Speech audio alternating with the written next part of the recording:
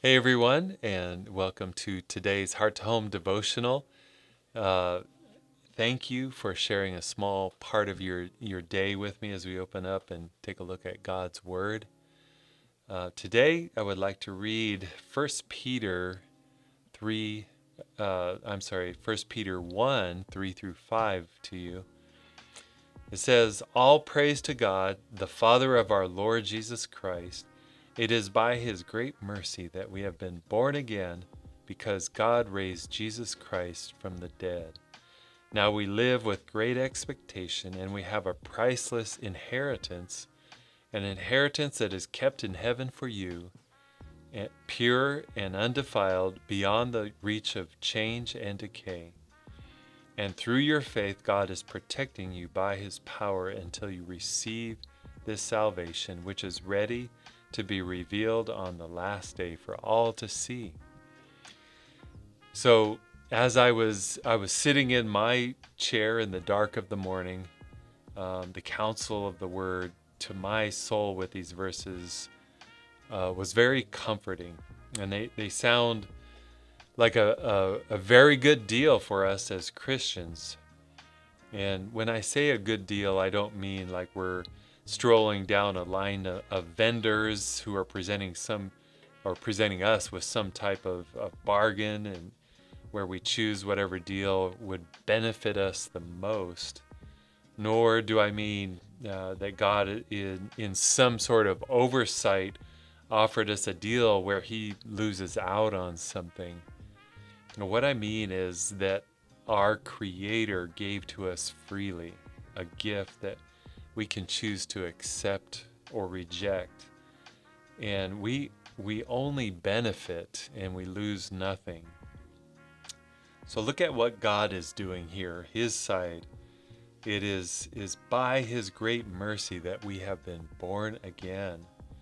And the way that this, this great mercy was given to us is that God raised Jesus Christ from the dead. So we have been born again which in in and of itself would have been enough but then it says that we have an inheritance. An inheritance is, is something that someone else has that they are willing to give to you.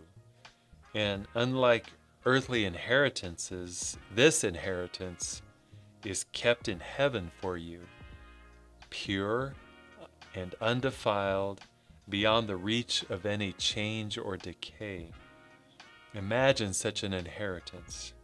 There, there's, there's simply no drawback to this.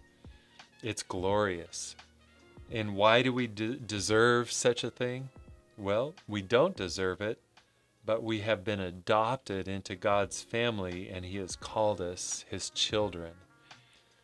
So not only do we have that to look ahead to, but notice that what it says in verse 5 that God is protecting you by his power until you receive this salvation.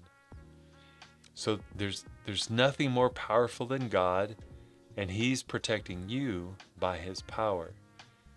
Salvation in this verse means stepping into eternity and finally receiving that promise uh, in heaven.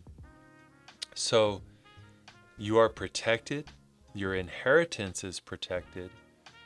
So there's no war, there's no pestilence, there's no in- inflation, there's no tribulation that can overcome what you have through Jesus Christ. And what is our role in, in these verses? Well, in verse 5, it says, through your faith that we gain this inheritance and protection. And verse 3 says that we live in great expectation.